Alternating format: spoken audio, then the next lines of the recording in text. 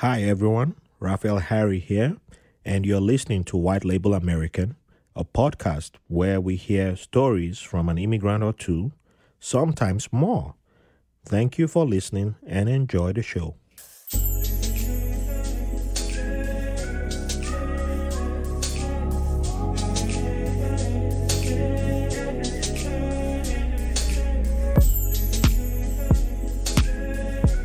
Welcome to another episode of White Label American.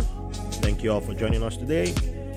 Uh, before we begin, I would love to give a shout out to my patrons. Thank you for your support always. And to everyone listening, you can also join them and become a patron on, on Patreon by either going to patreon.com slash white label American pod or go on Linktree slash white label American and you see all our links over there.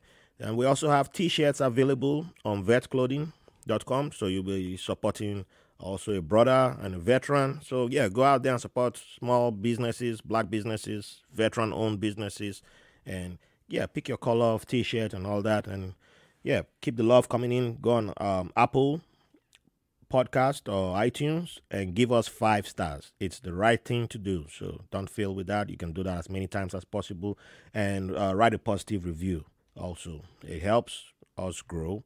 An independent podcast. So, with that being said, let's jump to the very special person I have in the studio today. Well, virtually, but um, yeah, she's still in the studio. So, I have the honor of having Susan Preseta, who is our guest today, Miss Preseta. She's an engineer, she's a content creator, she's a super mom, she's an all round uh, motivational person on the social medias because um, it's not only just about making content or being an engineer. She also talks about things that she, she embraces her, hum- her womanness, she embraces her humanity, and she gives you shame-free femininity. And you, you just have to follow this woman and you see why I brought her here. But we're going to dive into all that. And with that being said, welcome to White Label American. How you doing today? Thank you. I am doing great. Thank you. I'm excited to be here. I'm excited to talk to you. Hey, I'm I'm overexcited to talk to you too because there's so many beautiful things I know you're gonna drop with us today. So let's begin at the very beginning. You have a very you have beautiful names, but there's one name that stands out the most, Preseta. What what what can you give us the origin of the name, the meaning? Yes, yeah. So my name um, originally comes from Sanskrit. I was born in India, so Sanskrit, of course, is our uh, root language there, one of them. Um, and so it means pleasant. My name actually means pleasant in Sanskrit, and I'm Oh, really lucky that I'm not a mean person. Otherwise, it'd be a funny name for me. yeah. We would, would have had to ask for a refund or something. Yeah, Even though I'm not the one who gave you the name, but I'm still saying that that would have been yeah. we ought to ha- I would have to stuck with the middle name. Wow, yeah, that, that, that that's yeah, that the name the name suits you. It, it yeah, Thank you. yeah, it works. It works. I think I'm pretty pleasant for the most part, unless you make me mad. yeah, well, that for that that is that is the right way to go, and uh, in my opinion, that's the I see nothing wrong with that. I, I try to be as pleasant as I can. Yeah, but just don't cross that bridge. You know, don't don't force me to cross a certain bridge. Right. Yeah, that that's how I say it. But yeah, that's beautiful. That's beautiful. So, um, yeah, it, it it explains why. Yeah, you right from the first time I communicated with you, it was all you. You were very pleasant. So yeah, yeah, the name suits you one hundred percent. So yeah, Thank you. and um, where can you uh, also let us know where you were born and what your childhood was like? Sure. So I was born in Mumbai, India, and I lived there until I was about five. And then I moved from Mumbai to Houston. Um, and I, I was there for a few years, and then I moved to Oklahoma City. And if you've ever been to Houston, you know that it's really not too far off from India because there's a huge Desi population there, a very big Indian population in Texas as a whole. Um, but Oklahoma was definitely a culture shock. There's not a lot of diversity. Well, there wasn't at the time. It's much better now.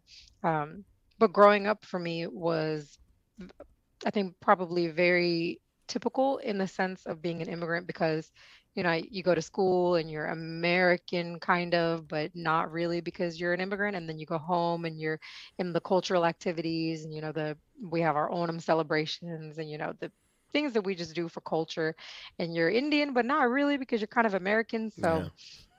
definitely a subculture. I grew up wearing a lot of Indian clothes. I remember show and tell. I like wore an Indian outfit to school. Any chance, any excuse I could get to wear Indian clothes or wear like my bindi, my um like on, on my forehead, Yeah. I would wear it. Any of my bangles, anything that I could wear that represented my culture, I wore it shamelessly. And my parents, they never made me feel bad for doing it. So oh wow, that's that's good. That yeah, good. That was good. I, I've basically grown up here.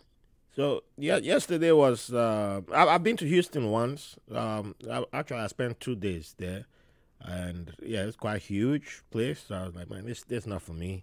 Um, yeah, way too huge. I had to be driving everywhere. I was like, ah, like I was I was preparing It to move to New York, and um, yesterday I was playing on Instagram and I came across this AJ Plus story that talked about uh, the journalist who covered who did the, present, the presentation was um, in Houston and he was like, "Wow, there's so many Pakistanis in Houston," and uh, it kind of um, expanded into the whole ABCD, uh, the des- the Desis, Yeah. and then but he, he was his focus was mostly on Pakistanis and then like you know how life has been like for them after 9-11 and then um, um, the person who was giving him the tour around um, talked about uh, um, after Trump, it was, she had to take off her hijab because she she's um, she always went to houses, individual houses for her job.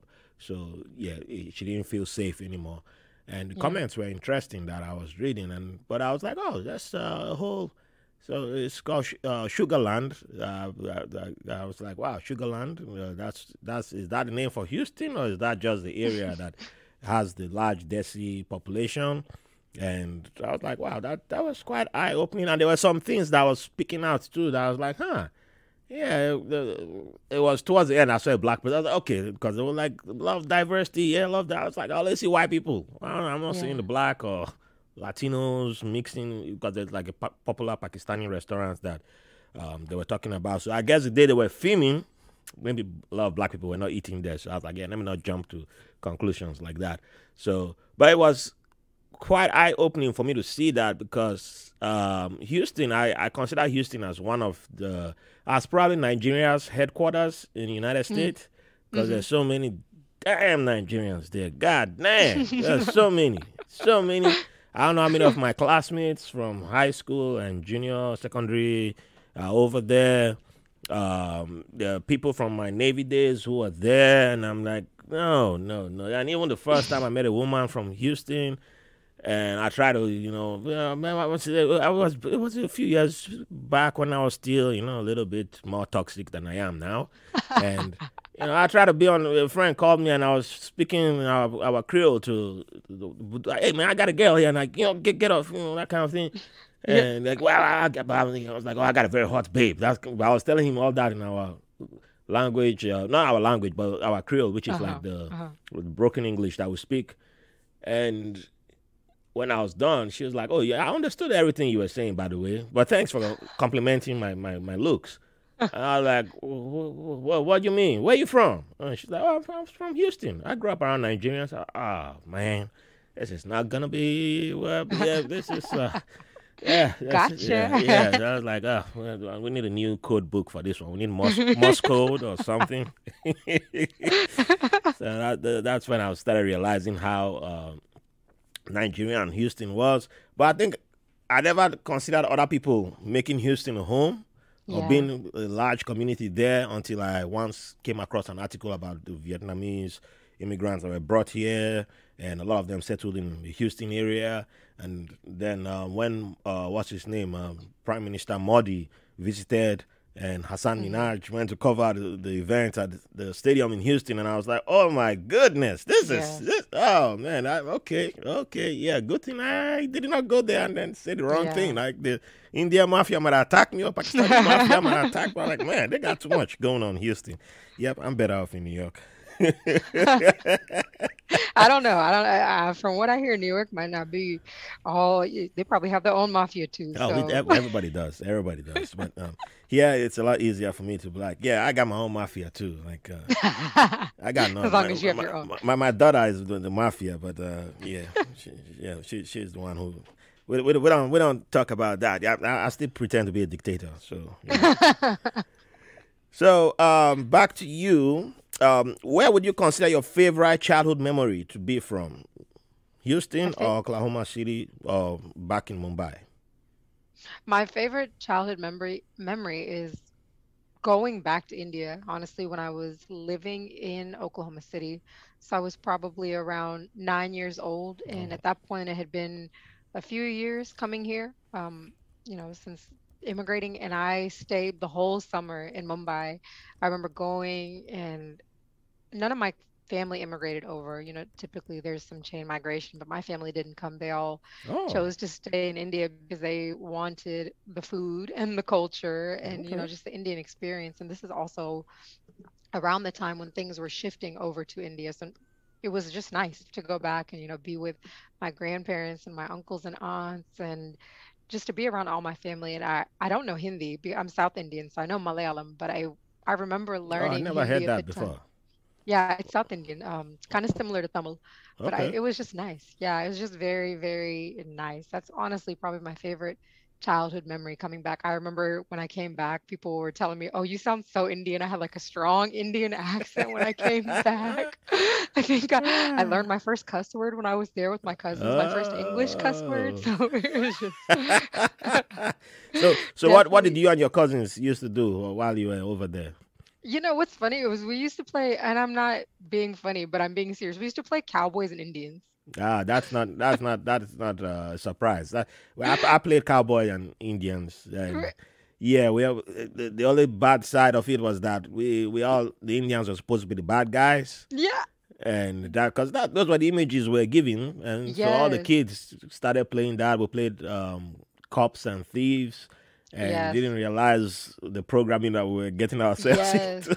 It's the same but thing. We would play the same things yeah, running around the house, things like hmm that. And then you Mumbai is pretty big. It's like New York, you know. So we had um I remember there was like a, a a guy outside of the balcony window and he had his own like a small little Ferris wheel, kind of Oh, like at a fair. Yeah. So he knew, he knew whenever he was there that I was gonna stick my head up, you know, from the balcony and I would look down. I would go ask my ammachi, my grandmother, for some money. And me and my cousin would go down there and ride this every day. So Wow, that's a, a smart smart business move there. very smart business move. Targeting the flat with all the children. so, um, one thing I've known from the Indian uh, subcontinent is uh, it, and it exists outside of that area. It exists all over the world, to be honest. But I think one in India is like a lot more popular, uh, more common. I would say it's become more commonly associated with India. Is the the caste system. And were you in any way affected by that, or did that uh, apply to you? Because I know you you're from a Christian family, so I don't know. I, Yeah. I I don't think I've ever asked anybody from a Christian family about that. Yeah, it app- applied indirectly. So my dad actually was Hindu and he converted to Christianity and he was a high caste Indian family. Um, so when he converted, it was a big deal. He was kind of kicked out of his family and went to live with friends. This is when he was 16. Oh Um, wow, and that's he pretty he just yeah, yeah. So he was, you know, kind of excommunicated from his family for a long time. Um, and then found some Christian people to take him in and went to theological seminary and school and things like that. So it affected me indirectly. I didn't experience it directly, but I know just from watching my parents that it was a long time before my dad went back and talked to his family. It was, you know, years before they were willing to have that conversation with him just because his conversion was very spoiling for the family name and for the family Mm, caste.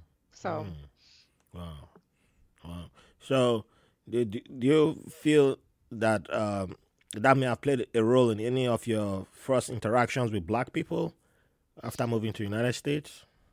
for me, honestly, when I first started interacting with Black people, I didn't recognize the difference because my family is South Indian. So my family has dark skin, they have curly hair. You know, we have Mm-hmm. like, if I look at like Indian people have the typical images like this thin, narrow nose. We don't have that nose. We have like a broader nose. So when I met people here who were Black, I very much associated them as family. So I would see Black people and I'm like, oh, you know, you're like closer to me than anyone else. So I always felt warm and comfortable and uh, much more at home around anyone who was Black than then I didn't. You know, I never felt Mhm. like I was an outsider. It felt like family. And then I had, you know, we had pictures of family back in India, and I'm looking at them, my uncles, my cousins. They're dark. They're like super dark. So I just I didn't see that there was really a difference until I got much older. Yeah. Wow. Uh, it, it's good that you you already had that exposure. Um, like for Bollywood is huge in Nigeria. Growing up, it was Yes. mad huge until we uh, some of us gained what I consider um, TV independence with access Yeah. to illegal cable and Yeah. um, other things, and that's how we were able to break free from the whole house watching Bollywood and being like, "Oh, Bollywood is for only women," kind of thing. But now, almost all my dudes who I know still are crazy about Bollywood, you know. And Yeah. uh, It's but it, musicals. it- yeah, it used to be Fridays, Friday nights before we had private TVs. Every Friday night was both state and federal TV was Bollywood movie. That was what they Wow. wrapped up with. So we had a whole lot of Bollywood has always had a large influence on um on the Nigerian entertainment space, but in doing that at the same time, it may have also created the wrong image to an extent because we all assume, oh, all Indians look like this. All Indians are like this, and everybody from that part of the world is supposed to be light skinned and all that. Yeah. And then I get stationed in um, Bahrain, and that's when I met an Indian who was either darker than I am or Yeah. as dark as I was, and I was, but the hair texture was different. I was, I was like, man, what, what is, where you from, man? Are you from Africa? Yeah. He's like, oh no, I'm, I'm from India. I'm like, what? They got Indians like you? He's like, uh, yeah, which probably was offensive for me to be asking about. I was so shocked, you know, and but I, I knew his wife because his wife was um, one of the lecturers at my um, the Navy College. They, they, they could give uh, cl- college classes to sailors, so I got to know the wife, and and I was like, damn, you you're light skinned and your husband is dark like this. Like what? And so I was that was just mind blown to me. Like I'm Yeah. seeing it in person. And then over the years, I've seen articles and I've read more stuff, and I'm like, wow. So a lot of dark skinned Indians, but you know, you watch a whole bunch of Hollywood, no, no uh, Bollywood movies, we don't see that. And Right. even there's um, an Indian woman who, well, she she was raised in Nigeria, but we have we have people like that who born it's i think it, she might she may have been born in nigeria i don't recall but i can't recall but she grew up in nigeria and she made the um what the, the nollywood bollywood movie some i forgot what she called it something love i don't like the movie That, uh, yeah but uh that movie also has that same one type of indians you're Yeah. seeing you know and you like yeah so well is there diversity in the country and people just tend to like and then wait there's people of they're darker skin. Like we just assumed you must be from Africa if you're automatically mm-hmm. darker skin. You must be living on the continent, and then oh, those are the Indians who came to who, came to Africa like 600 years ago, or 400 years, or 200 whatever years ago, and it was like no, no, these are people who live on the continent to the subcontinent and were born and raised there. Generations Yeah. have been there, and it's yeah, it's it's normal. They they they qualify, and it's like wow, wow. We don't know, we don't know because we just yeah, so I, I think that's one thing that I I've been doing away with trying to reprogram myself on uh, when it comes to um, identifying and uh, uh, acknowledging people who are from um, places like India and others. Because yeah, I'm like yeah, people probably look like me, or you know, yeah, just Yes. the hair and you know. Yep. Uh, may- Maybe if I had seen them when I was younger, I probably would have tried to copy their hairstyle too. Because well, we are trying to copy a lot of white hairstyles and all that. you know. yeah. That that's not the full reason for why I'm bald now, but you know, I played a played a little part, little part in that.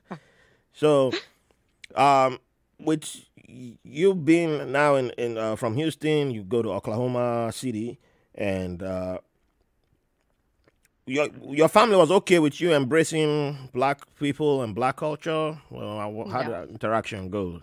No, absolutely not. They, no, they weren't okay with it in any way. I mean, I grew up in a home where there was a lot of um, anti-blackness, Mhm. where, you know, you're kind of in the Indian culture, you're warned about, oh, you know, if you go marry outside of your race, here's what'll happen. But it was much worse to marry someone or to date someone. I mean, really marriage because we didn't really date in our culture. Oh yeah. someone someone black versus someone white. You know, We, was we have that in common. It- it- It's like yeah, this you don't do the girlfriend boy. Oh, you're straight. No, when are you you're getting married? Yeah. Okay. Yeah. Okay. Yeah. Yeah. yeah, yeah. Straight to marriage. Yeah. So but no, it, it wasn't. It wasn't welcome at all. You know, it was kind of confusing for me because, like I said, I grew up in a Christian home, so to see a Christian home that just really disenfranchised black people and then to learn really racist things at church it just didn't make sense to me um, it never made sense to me as a kid i just like i said i saw anyone who had darker skin as very connected to me so it didn't it didn't um, resonate with me and so my parents i mean like i said growing up i had a lot of black friends so they were okay with it when it was friends you know it was Yeah. okay when i had black friends that i wanted to hang out with but then when it was people that i was you know dating or you know my parents catch me texting someone whole nother story Mm. whole nother story not welcome at all i mean my dad they're not as extreme you know they didn't send me away or you know send me to some boarding school but there was definitely serious conversations about my behavior and their worry for me and what they needed to do about it but I'm, i just kind of did what i wanted to do anyway yeah. so, So you mentioned boarding school, and I, I'd like to just zero in on that because that's one thing that um, another, that's another thing that we have in common from our communities. And I know, like a lot of Nigerian diaspora try to use the boarding school weapon as a threat when they like feel like, oh, you, you this child is being way too Americanized. You know, you don't be, you Yeah. don't, you've forgotten where you come. You don't know where you come from. I'm, I'm okay. Let's. Well, either the nicer ones will even tell you that they're taking you to Nigeria, moving you into a boarding school in Nigeria. The non, the the typical ones that I'm aware of is that they just, oh, let's go on vacation. Where are we going? We're going to Nigeria. Okay, and you go. And next thing, you're, you're, you're, um, uh, where, where's my dad? Where's my mom? Oh, they they left. Like what? Yep, you you go. They, they dumped you to an uncle and.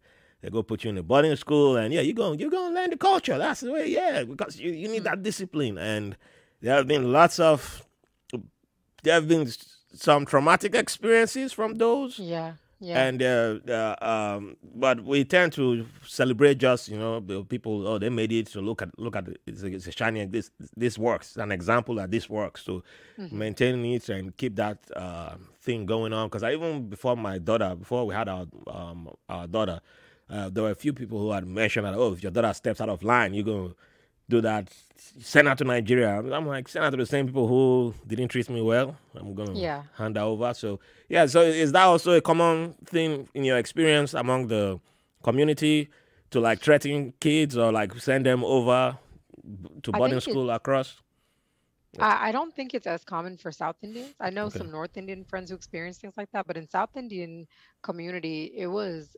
Mm, I mean, the culture is so strong and there's so much pressure that I think that kept most people in line. hmm And then the ones that went and did whatever they wanted, it was like it just looked bad on the parents. But no, I mean, at worst case, they would have probably just sent me there for you know a summer again or something like that.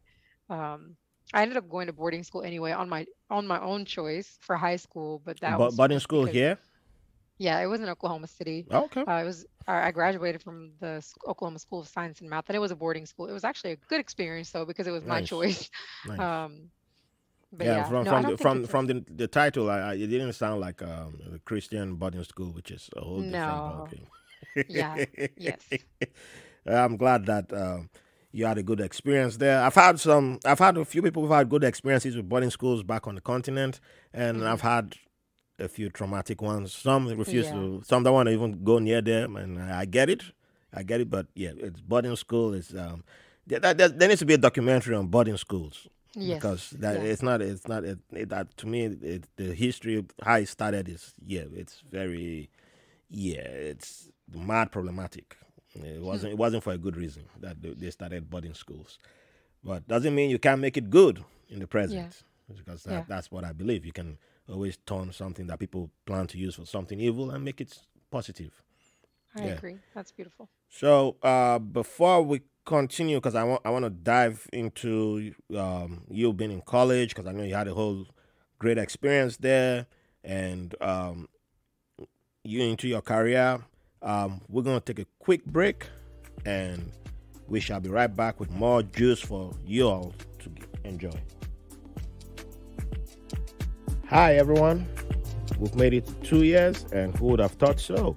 So let's go for that and make it three, make it four, make it five, make it six. Who knows? 20. But we can't do this without your support. So join us on Patreon at patreon.com slash white label American pod pod or linktree.com slash white label American. Go there and you'll see our Patreon link and you can join us for as low as $3. We have bonus content, we have bonus materials. There's so much juice over there that we don't release to the public. And yeah, you can contribute in making this podcast better. You can send questions, you can send your ideas. And also, there's a lot of new things that are coming.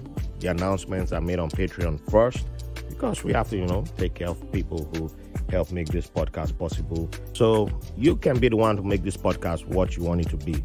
Come join us on Patreon and make it what you would like to see. Join us, make it fantastic. Keep the five stars coming in, keep the love coming in. Thank you for the privilege of your company. All right, we're good?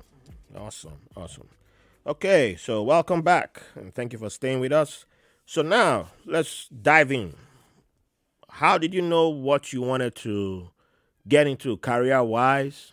Was there any nudges? Or you know, you can you can tell, you can tell. I ain't gonna, I'm, I'm not gonna tell nobody, but you know, so. Yeah, it, it was pretty clear to me when I was about four years old that I was either going to be a doctor and engineer. oh wow! that that was what I was told to do. I remember being I remember being five and coming to Houston, and my family and all of the culture around us telling me that I needed to go to Rice University. so, yeah, my mom is also a nurse, um, and she we I kind of was raised in healthcare, which is pretty typical for Indians as well in our community. And Nigerians too. We we we we there. We love yeah. that, that's another similarity between us. yes, definitely. our communities is like, yeah. But I know in India, for us, my mom was a nurse, not because she couldn't have intellectually been a doctor, but because mm-hmm. of the money. Yeah. So my mom always encouraged me, you know, don't be the nurse, go be the doctor. Mm. Um, and I, I actually went to school for medicine, and then as I was applying to med school, I just realized I had no passion in it. I had worked in an emergency room for five years, and I just I didn't like it. It wasn't for me, and I wasn't a fan. Um, I actually, it's one of the few things, you know, I listened to my parents despite them thinking I don't. I did follow their advice and I went back for engineering.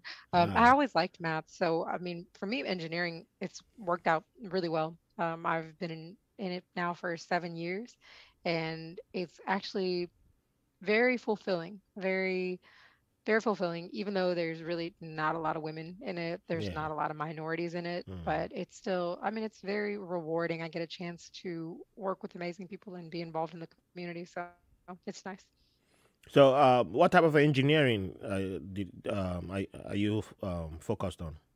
I'm a mechanical engineer. Mechanical. So that means that when I was in school, there was like a thousand people and two of them were girls. Wow. And I was one of the two. So, oh, wait, so Wait, um, you you you didn't go to Rice University, right? Nope, I so went you, to the University of Oklahoma. You you broke your parents' heart there. I did. And then I did. University University of Oklahoma. What was that experience like being in a in a class where the only like two women and going through all that? Like, did the professors even re- recognize that you're their students and that? Kind? Because I've had some ah. people's experiences with stuff like that, and I'm like, damn, I, that, that's that's where I begin to see some privilege that I have. Like, well, yeah, you know, you don't, you don't, as a dude, I don't see something like that, except when it comes to like the racial side of things. But yeah, I was like, damn, that's a whole. Yeah, I don't think I want to be like in the classroom like that. You know? Yeah, no, I mean, we the the few women, you know, we definitely stuck out because mm-hmm. we are the only women. Um, what was it like? It was good. I had to learn to deal with a lot more men that weren't like me because when hmm. I was doing, I mean, when I was in school before, it was like I was dealing with really diverse men and yeah. open-minded men, and this was very like stereotypical patriarchal white men. You know, very the stereotype yeah. of a white man in mm-hmm. America, you know, WASP. So it was hard for me because I'm I'm very liberal, I'm very sexually open, I'm very open-minded, and so having these conversations was challenging. It was it was difficult to find sometimes people to work with, but it got easier. I mean, it got easier because I would just start focusing on the work, you know. And then if along the way I met a friend, that was fine, but I didn't care anymore. I just was like, well, I need to get the work done. And so I got to find some people to do the work with, and hopefully we can connect. And if we can't, I'm still going to get the work done. Awesome. So, um, another thing that you did while in university was joining a black uh, sorority. So, did. did that also help make your university experience smoother? Amazing. There's a few things in life that absolutely have shaped me. One is definitely going to the boarding school, the Oklahoma School of Science and Math. Um, and the, another one is um, my ex-husband, the man that I had children with. And for sure, joining Zeta Phi Beta Sorority Incorporated has absolutely shaped my life. I mean, it made college what it was. I was so connected to amazing women that were supportive and loving and kind and open minded, and they could relate to what it was like to be a woman and a woman of color in these spaces and the challenges. And I, I honestly didn't realize how beautiful it was until I left college and I had to try to recreate that on my own. Hmm. And I didn't have, you know, just trying to find in the professional world, in my industry, it's hard to find women to begin with, much less women of color. So, I mean, I was so privileged. It was amazing. My experience at OU, I was very, very much immersed into Black culture. I mean, I just, I just chose to follow my heart, and that's where my heart led, led me. And best decision ever. My best friends now are absolutely my sorority sisters, and we just have such connection because we tend to be very similar as well. So it's just a beautiful heart and spirit connection that brings us together. Nice. See that that's um, one thing that I saw in my life as proof that I the anti-blackness in me was still um, strong because it was after I was done in the Navy that I would go to college. And yeah, I didn't even want to think about it. I, I was already like, oh, all sororities are like frat houses. I don't know. That hmm was like the impression that I had. And then to look for a black sorority, uh, yeah, I was like, "Wow, I want to be around black people. I've been around black people all my life. Like, you know, I need to go see the world. And then, yeah, hmm the world didn't really see me like, you know, and then it's later on, uh, every time I come across someone like yourself who uh, was in a sorority, and it's um, I can see the difference. I can see how um, someone like myself would have liked it, but Yeah. I was like, yeah, you don't need to be around there, you know. And it, was, it but mine was tied more to anti-blackness. You know, I had to admit that later on. Like it, I tried to deny it for a long time, but it, it was that because the impressions you had, I had gotten before coming over here was, uh, you know, it's like don't be around those people, don't be around these Yeah. people, and all that kind of thing. So. Yeah, we don't realize how that stuff works or how it, it starts to mess with our brain until um, you know, if you're lucky enough to catch it and oh man, I denied myself so many opportunities to enjoy school because hmm school, I mean, was just go study, pass, study, pass. That, that's it. Not, that, Yeah. not even enjoy anything. that was just it for me. so I'm Yeah. glad yours was um, it was a great time. And uh, one thing you mentioned was uh, amongst the people and the things that have shaped you is your ex-husband. I always love hearing you give flowers to this gentleman, and I'm like, yeah, this you you guys are not together, but the every every time it's like you speak about him, I can tell that there's um there's a love and admiration for the individual, and it's something that's beautiful to see because. I'm not uh, the type who says everyone who gets married should stay together forever, but that doesn't mean you know you, you can't be friends just because you it, it, didn't work out or you have to go separate ways. So um, how do- how do you, you mind giving us a little juice on your ex husband? Like, why is this guy so um, inspirational from the way you talk about him in other platforms and other places? I've seen you mention him. How is he? How did he have a, uh, an impact on your life? A positive impact on your life? Yeah, so I I met him first when I was really young. I was 21. I think he was 19. I was getting ready to graduate OU the first time. Now we just immediately hit it off. But we spent basically our 20s together, you know, growing up and Mm, growing together and figuring out who we were. And we got married a couple of years after meeting, and we had three kids. We have two boys and a girl. And he's just been very inspiring to me because he endured a lot. I mean, he was like, grew up, you know, project baby, just single mom raising five kids by herself and mom got out of the projects you know made her way just really inspiring and he has that same fight in him. You know, he's a Mm. really amazing father. He's very kind-hearted. He's got a good spirit, and it didn't work out for our marriage. You know, it just it didn't. And I think we're way better as co-parents. We're we're way more patient with each other. There's just a much better friendship. But the human that he is, and the way that I've grown from being in his life and him being in mine. I mean, he just was very patient with me. I went through a lot of trauma in my childhood, and he was very key in helping me work that and processing it and just being very patient with me as a woman and as a mother and just enduring. You know, there was just a lot of times where where we both made mistakes, but just a lot more times where there was just love, you know, and that love we both knew when the divorce happened that the love wasn't going to just mag- magically disappear. It was just going to go into our kids. Our relationship was just going to change and it wasn't going to be romantic. It was going to be a friendship. And so we've definitely maintained that. I mean, I, my, like I said, my, my family is still in India. So anything with my children is dependent on him. It's dependent on him and his family. And we have to get along and we have to co parent. And the children do better that way. You know, the children Mm. do better when they see two parents getting along and not fighting. Now, that's not to say they haven't seen us get frustrated at each other. They have, but they've Yeah. also seen us resolve it and grow. So, yeah, I have a world of respect for him. He continues to impress me in the way that he grows. Um, yeah, and and he can handle all of my fiery, angry energy and, and helps me calm it down. So, I mean, I have to respect that. So, Yeah.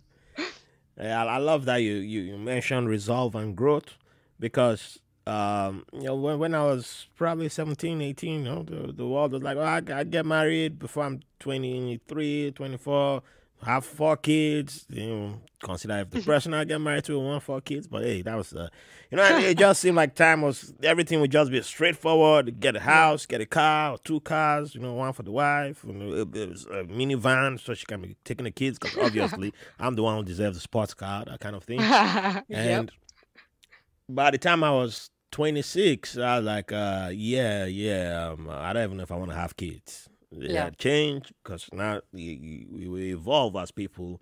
And um, yeah, so the, the way I started looking at things like divorce and, you know, people um, going through relationships and yeah, I think one of one thing that began to scare me was when I, someone would say, "Oh, I'm only in this marriage because of the kids," and I'm like, "Uh, yeah." I, yeah, I look back to my family and I'm like, I can't point to one person who was in a happy relationship based on that reason.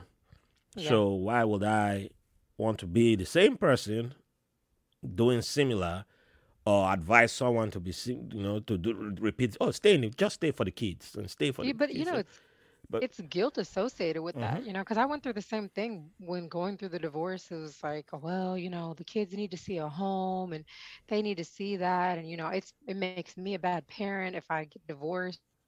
And then I actually had a friend tell me that. She said, I watched my parents, you know, stay together for us. And me and my brother wished that they had gotten divorced so they could have been happier and they got a divorce, you know, after we left the house. And it just gave me a lot of freedom to I, I appreciate that friend because I wish many yeah, people would be honest like that. You know, I I, I try not to be found in rooms because I do clubhouse. yeah, I try not to be found in rooms discussing things like marriage and all that because not many people want to hear that. And yeah, a friend was able to drag me into uh, a room to come talk about marriage, and everybody there was just like, "Oh, you know, I'm gonna find the person. I'm we're gonna stay married forever, no divorce, and all that." I was like, "Uh, this is why I don't come to this kind of places because." they haven't Yeah, been through life. like I've seen people who were only married together for two years, three years, and they're not. Yeah, It they didn't have to end up being hardcore enemies. Not like a Romeo right, Juliet that we all gotta die or stick. You know, right. it's not this ride or die mentality. Yeah, I'm, I'm like, yeah, yeah, I don't- want someone like that in my life. You know, Right. and for the first time I met uh, Verena, and when we decided to go seriously, I told her like, hey, if you ever feel, you know, this is not working out, yeah, it, it, feel free to. We can call it quits. It's not like we have to. I don't. I'm not bound by this right. um, school of thought. And the more I look back and more information comes out from the past, we find out how many people just were in it just because they had no choice to Right. leave. Yeah. You know, people. I was a, a friend of mine once posted a meme of. Uh, well, like oh, bl- black couples are in love, and uh, look how they stay together like fifty years, and all. This. Look at us divorcing now. I'm like, uh, have you ever talked to one of them grandparents and all that, and discovered how divorce wasn't really an option on the table back Right. then?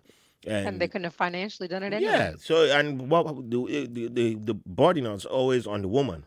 Right. So exactly. if you know women had to consider so many things, and you know, but the moment the, with more um, improvement in the financial status, hmm we've seen how yeah, many people are like I'm not going to be chained to this, and there's Yeah. nothing wrong with that. And if I even look back in Nigeria as a kid reading newspapers, by the time I was a teenager, in Nigerian newspapers there were lots of divorces at the lowest courts. Ordinary people were getting divorced, and the reasons are similar to reasons that I see here.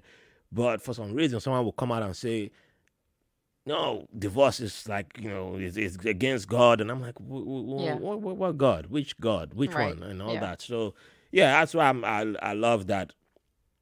Just because you're divorced, not mean it's over. It doesn't mean At all. yeah, That's no. And pe- people need to hear stuff like that, and that's why another reason why I wanted to bring you on the podcast because I, I just love the way you, you handle something like that. And both of you, shout out to your ex. He's uh, yeah, I'm, I'm, I'm, I'm, I'm, I would love to meet someone like that because I, I love hearing, seeing people like that because it doesn't mean you can't find happiness. It doesn't Right. mean your happiness is only tied to one individual forever. What about the kids? There's happiness too from your kids.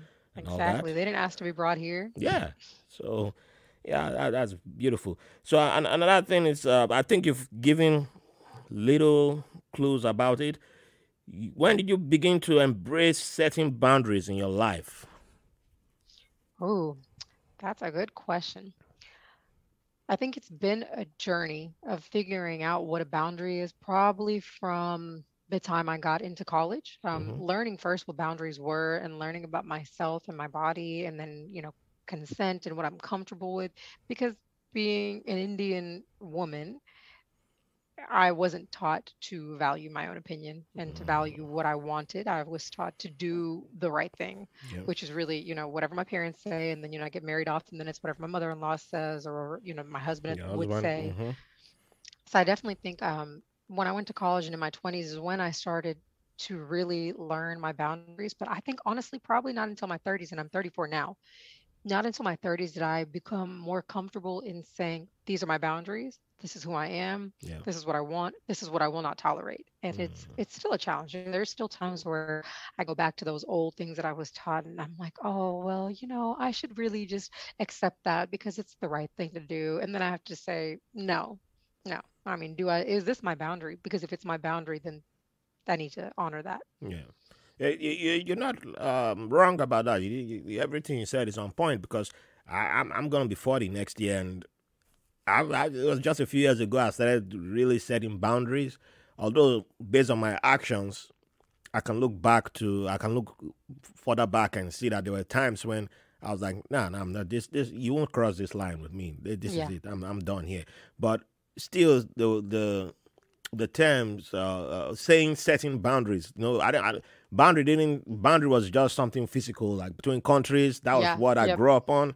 So Yeah. not, it didn't even occur to me that it was something. Nobody used that as a language Yeah. in my life that Yeah. could apply to my living. So yeah, it, Yeah. it's something that I'm still learning as as, as I go along yes. and I interact with people like you. It helps me see that yes, I'm on the right path, and yeah. Yes, So self-love and self-respect. I'm definitely still learning what that means and all the ways that I have to really it's like unlearning what I've what I've been taught.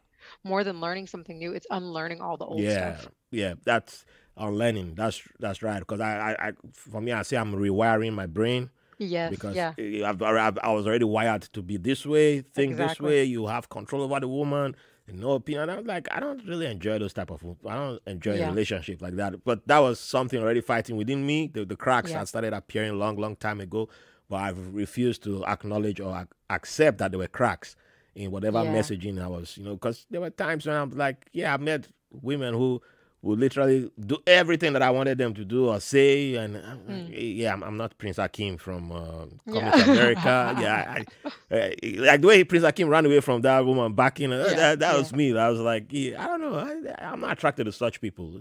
Yeah. But that was also setting a boundary for what I wanted in my love life. But I didn't Yeah. realize I was doing that. I was just like, ah, maybe I'm very picky. Maybe, but yeah, Yeah, being picky yeah. is part of setting your boundaries. Right. too. Yep.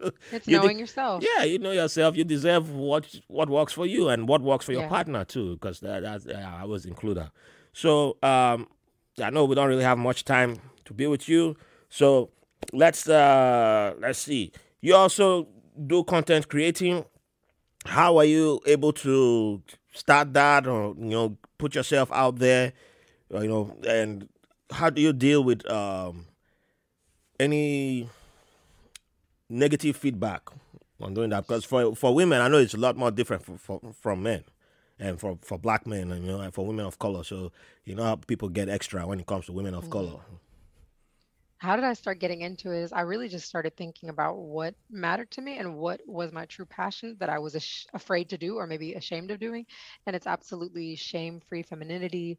And on the women's side, and then for couples, it's about intimacy and uh, sexual wellness and sensual wellness. So, in the ways of like Tantra and Tao healing, Mm. um, because we all are here because of sexual energy is what Yes. created us and so for me, the fact that we can't talk about that, that we can't own it, that it's so shielded is doesn't make sense. I mean, I come from India, the land of the Kama Sutra, and we don't learn it. It's like you know some taboo thing so it all it all comes back to that for me i think for women also especially because we are sexualized we don't own our own sexuality so it's Mm. important that we own that that doesn't mean we abuse it that doesn't mean it looks the same for me as it does for someone else but it does mean owning it recognizing what it is what i'm comfortable with for some women that's you know wearing the hijab and being covered for some people it's you know being very open and outwardly dressed whatever it is i really want women to identify that for themselves and own it for themselves when it comes to the criticism I meditate pretty consistently. I, I meditate in the morning, usually the afternoon, and in the evening to really stay centered and Mhm. to stay connected to the source and to have the fuel that I need to do what I need to do. Um, the criticism I see as, as a sign that I'm doing what I'm supposed to be doing, that there's some rebuttal against me because I'm walking in my passion. But I also, depending on what the criticism is, I'm not uh, unwilling to hear it. You know, criticism is just someone's thoughts, but that doesn't mean it has to be an offense to me. Yeah. Someone else can have their thought and I can still have mine, but we can learn from each other, which is very mature to me. So I try to embody that. If someone has something to say, if it's just straight toxicity and anger, I know that it's a problem with that person. It has nothing to do with me. But if there's That's something right. valid there, then I'm Mhm. always willing to hear it. I'm always willing to see what is that person saying and is there something I'm not aware of. So um, I'm not afraid of the criticism. It doesn't affect me negatively at all. I appreciate it. Awesome. Yeah, that's that's the way to go. I, like um, my favorite podcast, which I consider the, the best podcast in the world. I will always give a shout out to is uh, the Black Guy Who Tips. So Mm. husband and wife. I think you'll you'll love them if you if you get into that podcast. You'll love them all the way. And yeah, they've talked about stuff like that, and I took something from them. I'm like, yeah, if you have something negative to tell me, yeah, send it to me. I'll read it, and yeah, send it in private. I don't need that on my Apple Yeah. ranking. Good. That's the only place I want to see positive reviews. Put Yeah. positive stuff there. That's good. But if you got something negative, yeah, come talk to me. If you if you're vaccinated, you can come talk to me one on one if you're not vaccinated, um, yeah, I'm, I'm, I'm, I might even be like, yeah, yeah just, um, yeah, yeah, uh, you know, I'll forward, it to someone else who cares. Like, I know some unvaccinated people so hey, hey, there you go, y'all, y'all get together and do your thing, you know. But yeah, I, I, I don't need that. Um, I, I don't. Once upon a time, I was worried about, oh, people, what will people say, what will people do that, about, and I'm like, yeah, it's them. It's on. It's they- there's something that they have to deal with. It's not for me to fix. So if y'all just coming with me with some negative energy, then uh, Yeah. yeah, I- I'll just divert it. You know, that's why I got vaccinated to be on the 5G network and be away from such unnecessary drama. So, Yeah. yeah. Yeah.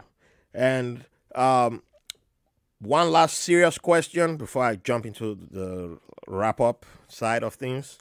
Uh, what's one thing about how you were raised that you are sure not to repeat with your kids? And what's one thing from that you've kept from your upbringing that you use in your relationship with your kids? One thing that I do not repeat is conditional love. Mm. So for me growing up, love was based on am I smart enough? Am I listening well enough? Am I well behaved? You know, it's like these check marks. And if I missed one of the check marks, then love was taken away. So I'm not that way with my kids at all. I love them all the time. I shower them with verbal praise and hugs and tell them that regardless of what they do, how they act, who they choose to be, I will always be here for them. I will always be a safe space. I will always be protective for them. I will always be that warm place. If they ever need to rest, I am here for them from now until eternity. They have me and they will always have me. I didn't have that. So I definitely want that for my kids. And then one thing that I keep that I was definitely taught is the hard work and the high ambitious goals. You know, mm. we came here as immigrants and it was very, very high standards that I was held to and, and the way that I was pushed and kind of even encouraged and supported in that way. And I do that same thing for my kids. I expect really high standards of them intellectually, emotionally, you know, in their own spiritual self discovery. I just expect so much of them but I support them along the way. You know, I try to love them along the way and guide them um, because I think that that added a lot of value in my life too. Awesome. And you know, I, I never thought of. I don't think I it, it's ever been broken down to me as conditional love. But when you were talking about that, yeah, I resonated with that because it's something that, uh, yeah, um, I, I think that was what love may yes. have been to me. And for a period of time, I that was how I also applied love in everything that I did, but I'm um, more on this um, on the side of uh, yeah, I love my my daughter. I love her, and that's one reason why I didn't even um, you know before she was born. There were people who are who no longer even in my life because the, the first thing they wanted to do was oh, so you don't want to know the gender, you don't. Um, what would you do? How would you prepare? I'm like, what do you mean? It's a baby. A baby is coming. Yeah. Like, we love the baby. And if Verena wants to know, then yeah, we, we, we will know.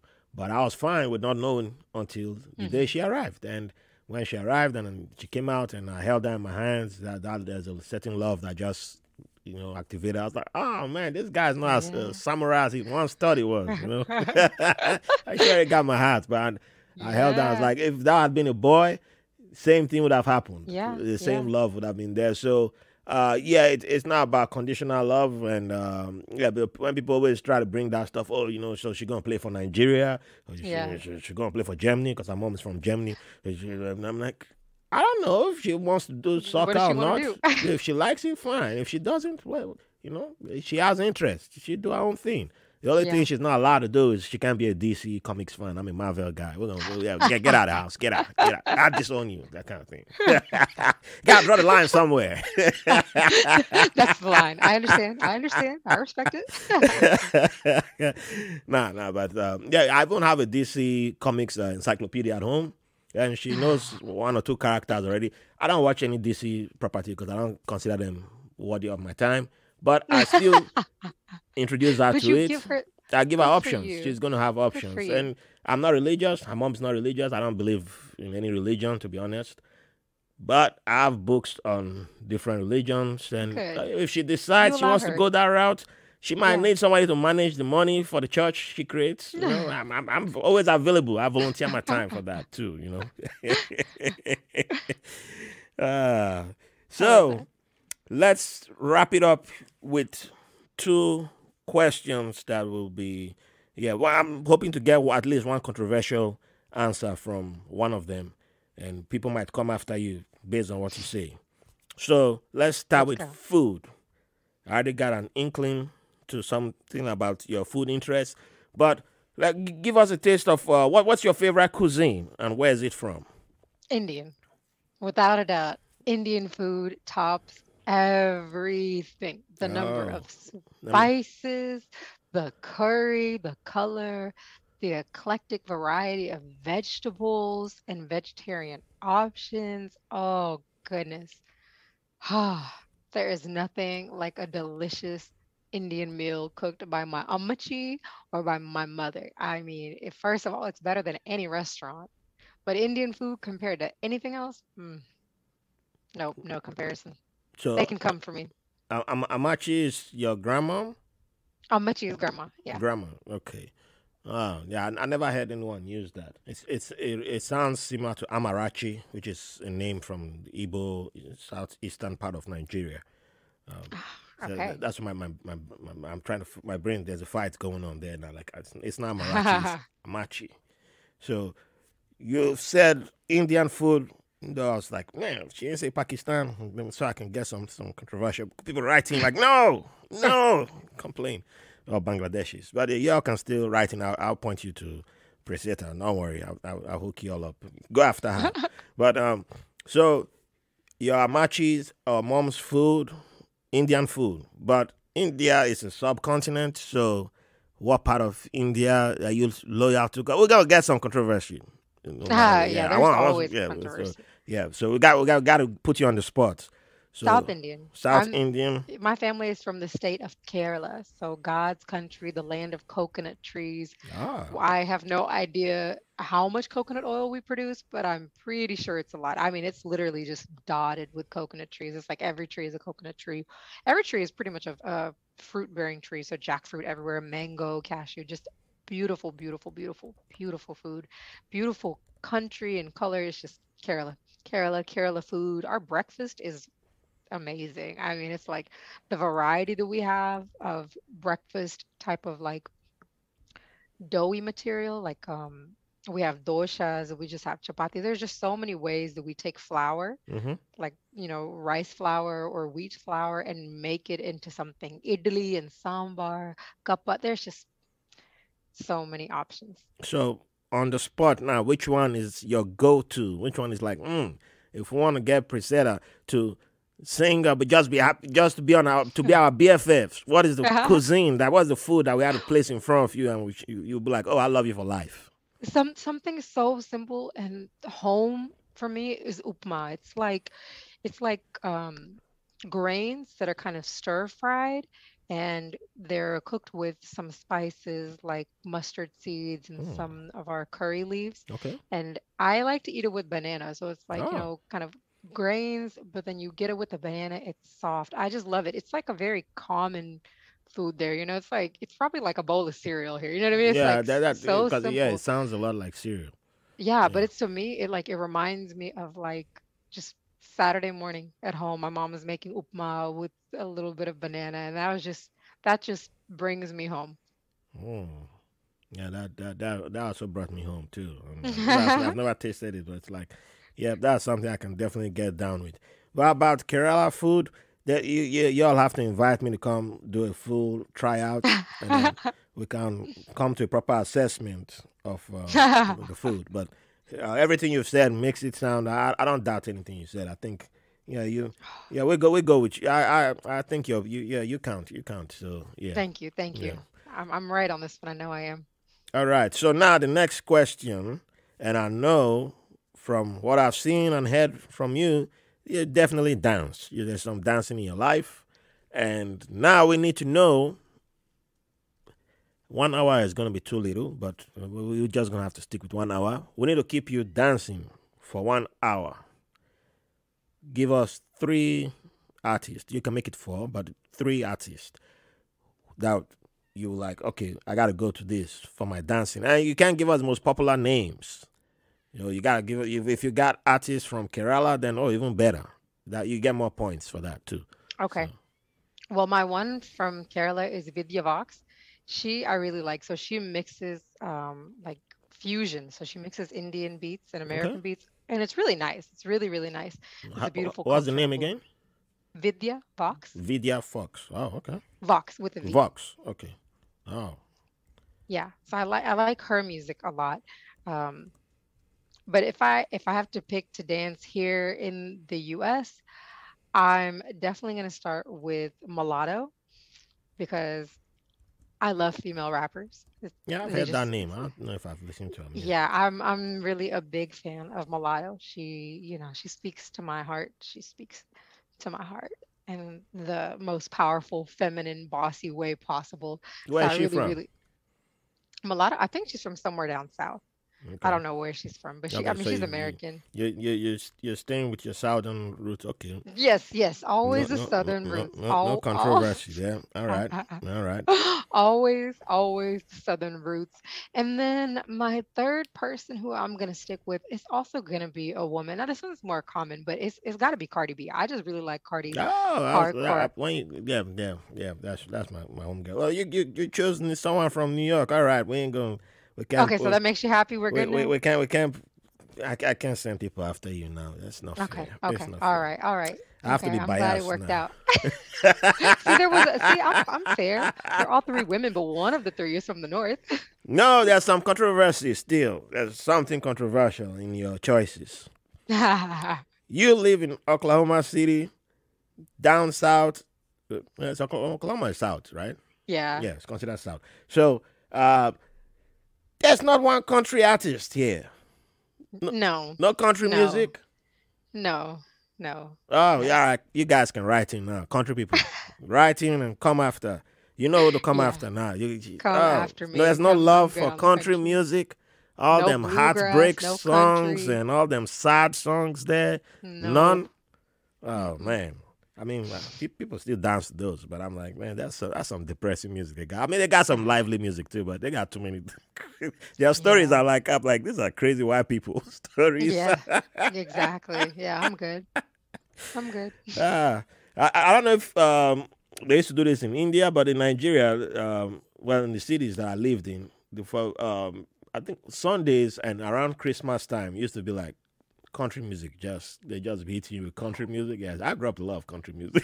Oh my gosh. No. I don't know if they still do it now, but yeah, lots of country music. Uh, people around my age, yeah, they- they- like I interviewed someone who I knew from back in Nigeria before he came here. He came here before me, and yeah, he was like, "Oh yeah, country music, man. He still loves country." music." I was like, "Ah, man, he, he, he hasn't been. He, he never broke free of that. The, the hold is strong. Nope. Like, yep, I I got lucky. I wasn't put through that, so I'm sorry for you, unless you like it too. But I, I I, mean, I like Dixie Chicks, uh, And- I mean, there's a couple. and- and- there's like one yeah. Dixie Chick song I like. and uh, what else? I- I- Strawberry wine. I like that. You one of my problematic songs is the um, beer for my horses, whiskey for the men. I don't know why. It's just um, I, I can't des- describe that. So I, but there's something that every time I hear the song, I just sing it, and yeah, it's, a it pro- resonates with your spirit. That's funny. but I started from a funny place of laughing at the song, and then I started singing it. So that's that's how they it, get you. with you. That's how they get you. That is how they get you. They make you laugh, and then all of a sudden you're like, Ah. so I've had so much fun having you here. Really appreciate you giving me your time and coming on the podcast today. So, final question: What would you like to leave the audience with? You know, your freestyle moment. Drop some extra gems to the gems you've already given us. I would like to leave your audience with the choice to figure out what they love, not what they were told to love, not what they were told to be, but really who are they on the inside? What is that weird part of themselves that they cannot get rid of that keeps coming back? Maybe it's some type of dance, maybe it's a form of art media, or maybe it's public speaking, or maybe it's encouraging others, or some really outrageous spiritual belief, whatever it is, there's something in each of us that is very unique to us, and we're all put on this earth to find it, to uncover it, and to bring it to life. Because the more we do that, the more we encourage other people to do that, and we just become who we're intended to be rather than just being robots. You know, we're humans. We we follow what's on the inside of us rather than just responding to our environments like animals just having kind of biological reactions and chemical reactions. We have the ability to create. We have the ability to manifest to do so much but it's really when we tap into the power within that we can manifest the most beautiful things. So i would mm-hmm. say to your audience find that power within find whatever that unique calling is that's individualistic to them and birth it bring it to life Yeah, I'm, I'm already beginning to find my power within. I was like, you know, I, I knew it was going to drop something extra beautiful. So, hey, um, I, I, I forgot how to say thank you in Hindi. So, yeah, I'm not going to go there. I'm going to go with a different language. Barang. I, I pick languages from almost all my guests, and I know multiple thank yous. So there's some simple ones like Barang, which is from the Gambia, the Manjaco tribe. Uh, Okay. my, my people is Umbana. okay So yeah, Barang for coming on the podcast, and uh, yeah, please plug yourself and uh, give give. How can people find you or you know find your content? Yeah, you can find me on Instagram at miss dot miss.preseta. So it's spelled like preset, P R E S E T A, with an A at the end. So preset A, but pronounced Precita, like you see me. So you can find me there. That's probably the easiest way to get me. Awesome. And I'll be adding that to the show notes. And you all go follow Miss Preseta on Instagram, get some great knowledge and gems, and you find that power within. You will, you will if you follow her. You know, except if you have some blockage that you need to take care of, then yeah, that, that, that's. Uh, I'll help yeah. you with that too. Yeah, we'll, we'll find ways to Uh, release the yeah, well, blockages. okay, yeah, Uh, and, I still I know some other people too. Like in case they, they need extra help, then I send them some therapists that I know. But hey, thank you again. Extra love to you. Um, keep up the great work that you're doing. Keep inspiring. Keep being extra awesome, and I just love that energy that comes from you. It's it's beautiful to see and hear. And Thank you. yeah, we'll definitely have to bring you back again for something we'll cook up later on. Yeah, it's been wonderful. Thank you for having me. Thank you for having me for everything you do. You serve a huge community of people, so power to you. My Power to pleasure. you. My pleasure. And to everyone listening, keep the love coming in. Don't forget to give us five stars. Go on Apple, do that, and um, you can get T-shirts and yeah, spread it the word around your family, loved ones, and everybody. I'll see you next week. Thank you for the privilege of your company. Thanks for listening to White Label American. If you enjoy the show, we'll appreciate if you rate, review, and subscribe to the podcast wherever you get your podcast from. If you have any questions, comments, or have someone who will be a good guest on the show, or you want to be on the show, send us a message at whitelabelamerican at gmail.com. And make sure to follow us on Facebook and Instagram at White Label American. Thank you for your support.